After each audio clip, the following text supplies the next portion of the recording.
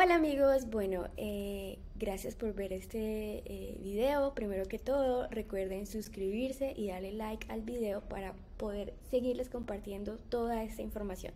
Amigos, en este tutorial vamos a integrar nuestra Mac con GitHub, entonces para que ustedes suban sus repositorios, compartan el código de sus proyectos y demás razones personales que ustedes tengan. Lo primero que vamos a hacer es que vamos a entrar a nuestra maravillosa integral integral, terminal, no sé por qué es eso, y le vamos a dar terminal. Listo. Acá entramos y vamos a darle lo siguiente, git, espacio, rayita en medio, rayita en medio, versión, enter. En este caso, como pueden ver, eh, ya está instalado en mi Mac.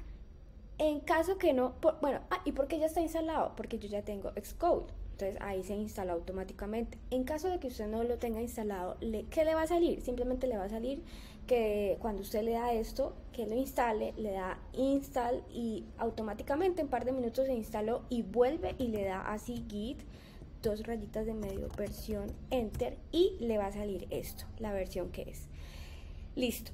Si usted ya tiene su cuenta de GitHub, pues entonces omita este paso. Si no la tiene, vamos a ayudarle a la gente que no lo tiene y es muy sencillo, miren. Así que espérese dos minuticos, tenga paciencia y ya vamos a seguir con el procedimiento.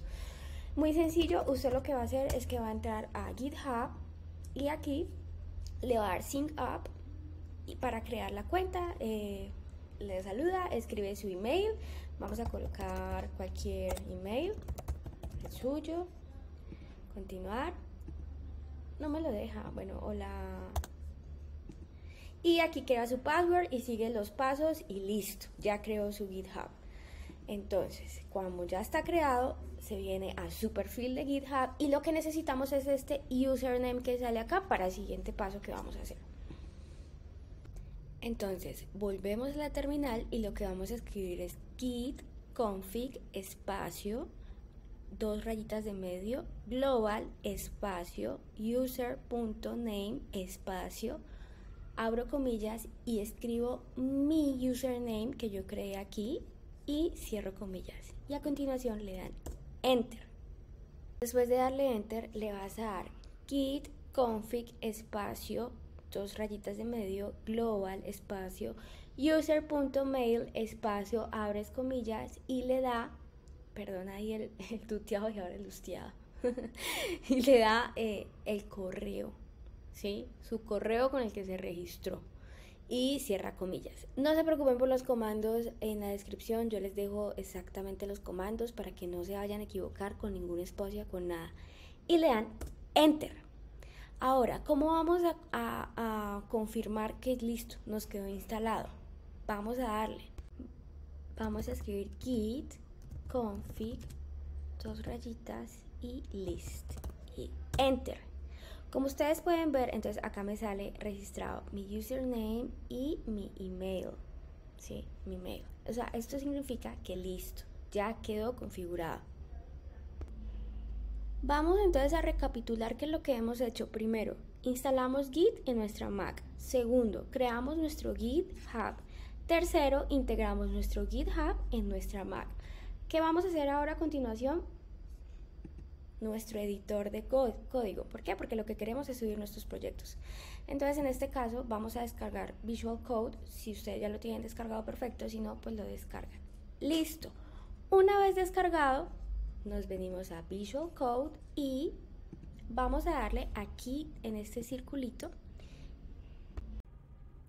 y le vamos a dar acá en el segundo en el que dice turn on y acá me dice muy claro, eh, bueno, espera, acá ya. Eh, si entro con Microsoft o con GitHub, entonces en este caso con GitHub, listo, aquí eh, me pide mi acceso, mi clave y demás. Así que usted escribe su correo o el username y la clave y listo. Sí, que se autorizo, lo autorizo. Y listo. Permitir. Open. Y ya tenemos integrado nuestro GitHub con Visual Code. Ok, entonces ahora lo que vamos a hacer es que vamos a crear nuestro repositorio. Entonces aquí le vamos a dar más, nuevo repositorio. Y ustedes le van a colocar el nombre que quieran, por ejemplo, primer proyecto, puede ser, bueno, ustedes escogen el nombre. La descripción, mi landing page, eh, público, no hay ningún problema. Sí, vamos a agregar un archivo README y listo. Simplemente le dan crear repositorio.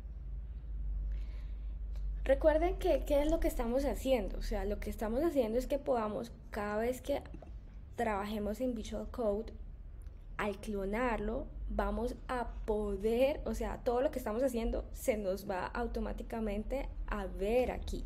¿sí? Entonces, por eso es que estamos creando un repositorio, por eso es que ahora lo vamos a clonar. ¿Y cómo lo clonamos? Entonces entramos aquí donde dice code y este link lo vamos a copiar y nos vamos para nuestra maravillosa terminal. Y una vez en terminal, ¿qué es lo que vamos a hacer? Bueno, si ustedes quieren, por ejemplo, borrar todo esto, simplemente le dan clear y se limpia. Bueno, ¿qué es lo que vamos a hacer? ¿Dónde queremos que vaya nuestro repositorio? ¿Sí? O sea, ustedes eh, tienen una carpeta donde ustedes tienen todas sus cosas, bien ordenaditos, bien lindo todo. Entonces ahí. En este caso vamos a hacer el ejemplo que lo que yo voy a clonar, el repositorio, quiero que me aparezca en documentos. Entonces, ¿cómo hacemos? Eso se hace mediante la terminal con los siguientes comandos. Vamos a darle el comando ls. Recuerden que eh, en mi Mac mi usuario se llama Natalia Riano, como ustedes pueden ver acá. ¿sí? Entonces, esto, esto que ven acá es lo que me contiene Natalia Riano. Entonces, yo quiero que mi repositorio vaya en documentos. ¿sí? Recuerden que es importante que donde ustedes elijan quede ahí. ¿sí? Si ustedes ya lo quieren cambiar, tienen que hacer otro procedimiento. Entonces, es muy importante que ustedes digan, bueno, listo, ahí va y ahí va.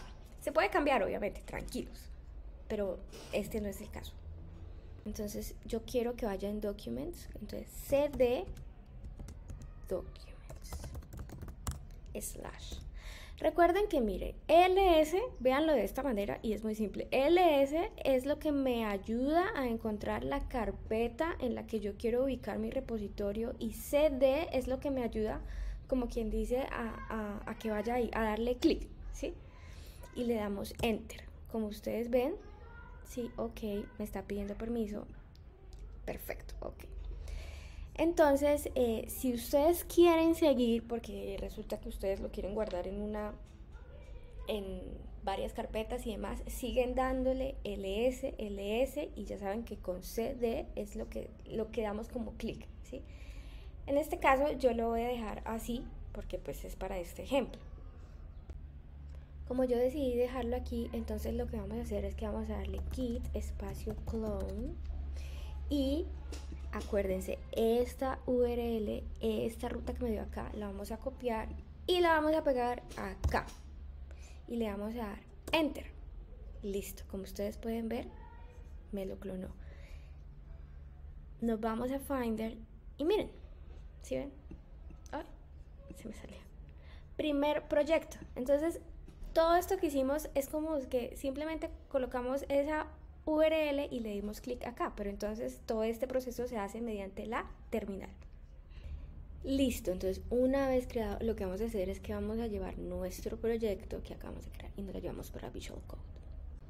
Como ustedes pueden ver, entonces aquí está mi archivo README y todo, entonces vamos a hacer un ejemplo. Mm, a ver, creemos un, un index HTML y listo vamos a darle